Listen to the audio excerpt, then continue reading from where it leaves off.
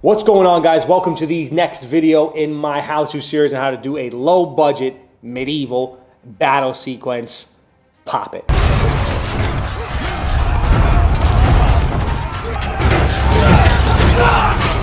Last week we went over preparation, everything you need to prepare for, so on the shoot day you're ready to go.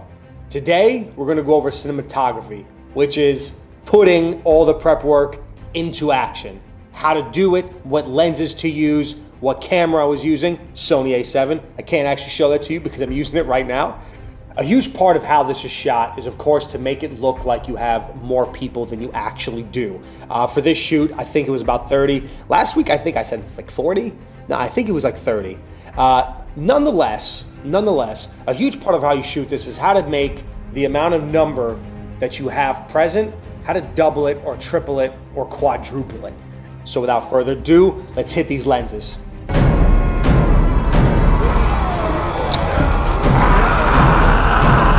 The first lens, I didn't really use too much, but I'm gonna show it to you guys anyway. 24 millimeter wide angle lens. I didn't really use it that much because again, we didn't have two, 300 people. So I kind of strayed away from using it, but I, I think I use it a few times, a few times, maybe.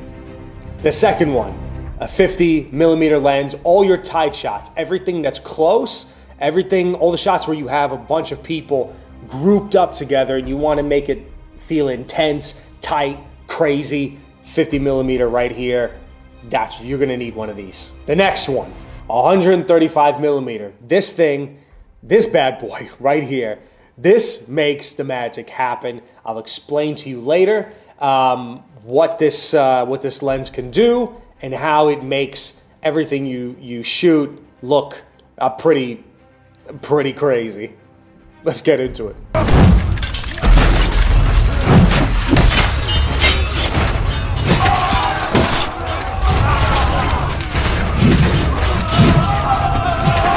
All right, guys, before we get into this, um, I'm to just, just for clarification, uh, this battle scene is uh, between the Danes and the Estonians based off the Battle of Lyndanisse during the Northern Crusades.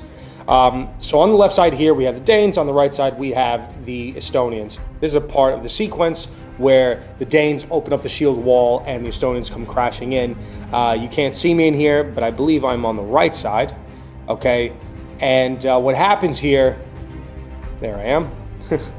uh, I have the 50 millimeter this is shot with 50 millimeter because I want everything close. Now, of course, I have some of the guys also stacked on where the guys are going to fall. So when they do fall through, the camera follows them and I still have guys in the background just to make it seem, uh, seem packed.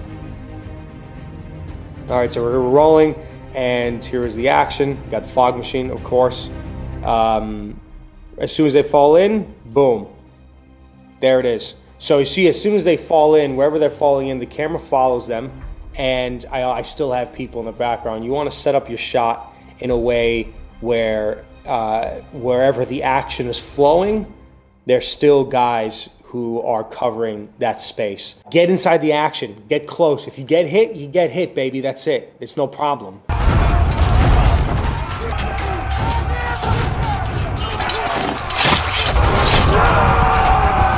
You see what we have here? Everyone is bunched up into a group, okay? They're filling up the whole frame. There's not one empty spot in the frame, all right? Which, of course, from the audience perspective, when you look at that, you're like, oh, wow, there, there must be a lot of people over there.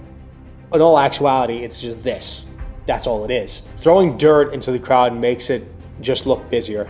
Get into that action. Now, whether they're actually doing a lot of action or not doesn't matter because the camera is moving so much uh, and and you having dirt being thrown into the scene, it looks very busy. It looks very chaotic. Okay, and what is a battle if not chaos? So capture that feeling by doing that. I would say if you have a gimbal, I don't care how much money you spend on a gimbal. Like, don't use it. Don't use a gimbal. It's too smooth. You know, this you want something gritty. You want something gritty, something raw, something real.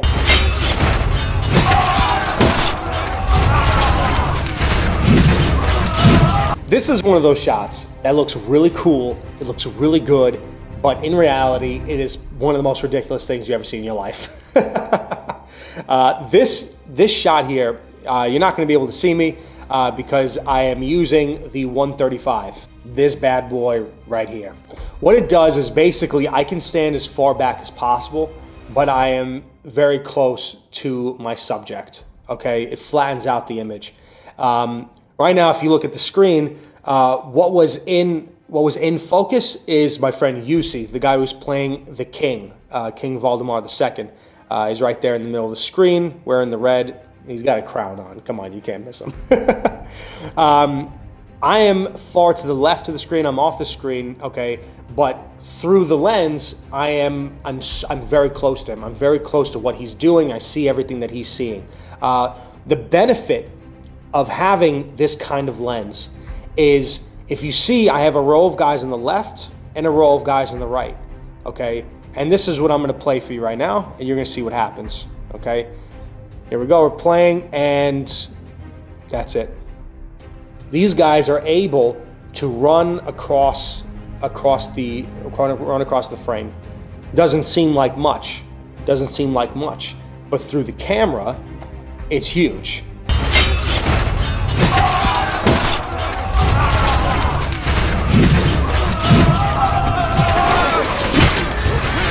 Before I, before I continue with the camera work and, and so on and so forth, you want aesthetic. And what you're seeing here is the fan, is the fan and the fog machine working together. Um, again, you want to go after chaos. You want to go after fast pace, motion, whatever, whatever. And having a fog machine sometimes just isn't enough. Uh, you need to have that fog blasting out, uh, smoke blasting out. So what you do here, just a nice little trick, uh, is just taking the fog machine, putting the fan in front of it, and blasting that fog. You can see how fast that fog is moving. Bada bing. it's great.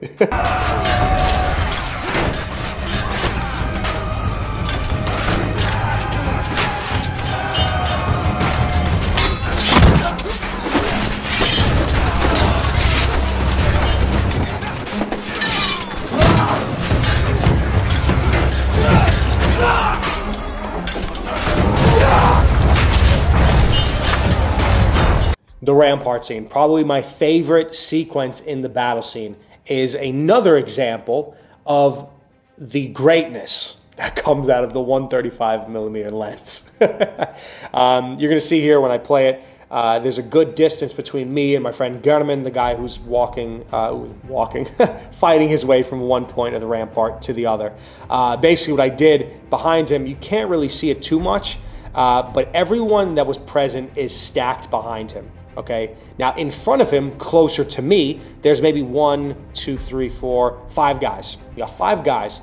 Now I gave them instruction. I said, listen, when I when I pass by you, I want you to cross over the camera because again, with the 135, since there's so much distance between me and the subject, I can have the guys, uh, you know, cross over the frame to make it look crazier, make it look busier.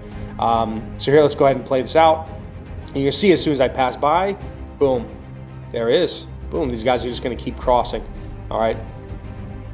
There it is. Boom, boom, boom. Yeah, looks simple enough. But because of that lens, uh, let's pause it. Because of that lens, uh, it it makes it look so much tighter. What's great about this lens also is during the sequence, if you look at it, it looks like he's really hitting somebody. You can actually have them really swing the sword, really get, you know, have these intense motions, but still being farther away from the guy who he is supposedly hitting. The very first hit, he actually doesn't hit anybody. There's nobody there. The sound tells you that he did. He looks like he's stabbing people. He looks like he's running through them, you know, bang, bang, bang, like he's going to town. It looks like he's freaking nailing them. That is, again, part of the magic of a 135 millimeter lens. Pop that. Having another camera out there is definitely helpful. My friend Chris was there with his Nikon. Uh, he had it settled on a gimbal. Uh, he was actually just there to get behind the scenes footage but of course, if you got another camera on hand, like you might as well put it to use, you know. Uh, so more often than not, Chris was taking different angles of shots that I was doing, and a lot of his shots made it into the final cut that made certain sequences really come full circle.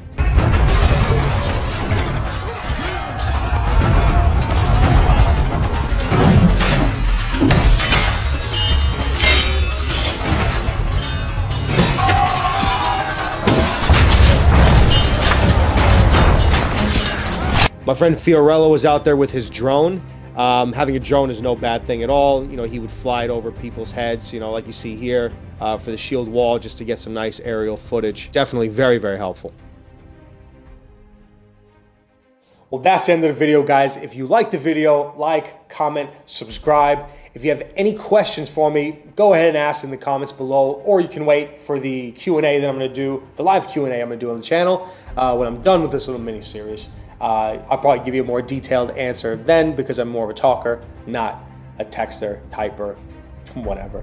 Next week, I'm going to go into directing. How do you know if you're getting the right shot, the wrong shot, the right emotion out of your actors, or the wrong emotion out of your actors? Uh, how to talk to them, how to keep the adrenaline high, how to keep them pumped up, um, how to direct. How to direct. It's very simple. Just directing.